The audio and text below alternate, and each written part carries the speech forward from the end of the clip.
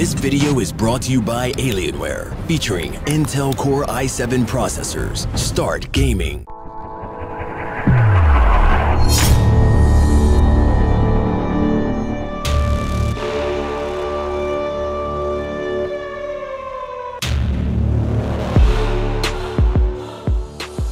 Was geht ab, werte Zuschauer und willkommen wieder auf dem Team-Channel von Eradicate zu einem weiteren Video und diesmal ein Mini-Commentary quasi in Lichtgeschwindigkeit.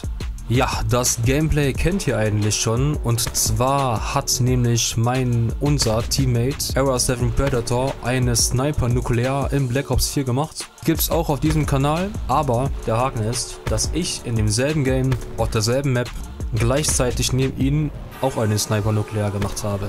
Das Ganze ist 70 zu 16 ausgegangen und deswegen gönnt euch. Passend dazu gab es ja letztens ein neues großes Update für Black Ops 4, wo man jetzt endlich diese gesamten Waffen, die man aus den Kisten ziehen konnte, entweder selbst gezielt kaufen oder sich erspielen kann.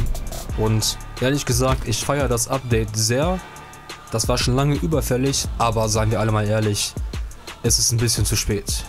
Und wir wollen auch gar nicht über Black Ops 4 reden, sondern über Modern Warfare 2019 Release. Und zwar über unsere Meinung von unserem Team über das Game. Und da gibt es auch nicht viel Neues zu sagen.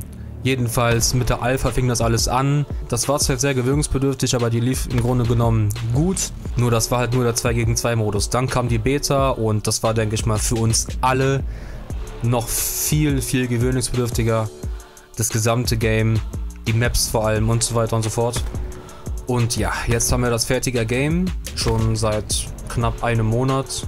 Und was soll man noch dazu sagen? Es wurde ja bereits in genug Videos von anderen YouTubern darüber geredet. Es ist nach wie vor ein sehr gewöhnungsbedürftiges COD. Ich finde nur, dass es vom Kern her normalerweise alles richtig macht. Aber es gibt auch einige Schwächen, zum Beispiel die Maps sind nicht das wahre. Jetzt ähm, das, die neue Map Shoot House lässt sich einigermaßen spielen. Die Spawns sind auch nicht das wahre, aber das Problem hat man irgendwie gefühlt in jedem COD. Das Movement könnte etwas schneller sein, die haben das aber zum Glück schon, ähm, also der, die Geschwindigkeit der von der Alpha und Beta wieder angepasst. Dennoch wünschen wir uns ein paar Oldschool-Sachen, wie zum Beispiel Oldschool-Waffen, die sollen ja auch noch kommen, die Intervention, die OMP, die Spaß 12 und so weiter. Oldschool-Maps wären auch noch geil, finden wir. Also sowohl ich als auch meine Teammates. Ähm, Oldschool-Modi vielleicht auch, wie zum Beispiel Absprungzone und ja, das ist, dass man nicht mehr prestigen kann, ist auch ein bisschen schade. Aber immerhin bringen sie kontinuierliche Updates, die sehr wichtig sind, die auch komplett auf die Kritik eingehen von uns Spielern. Das Game fühlt sich vom Kern her auch sehr gut an, was für mich immer noch das Allerwichtigste ist, auch, auch wenn alles drumherum ein bisschen schwierig ist. Die Story ist super gemacht, darüber streitet sich keiner.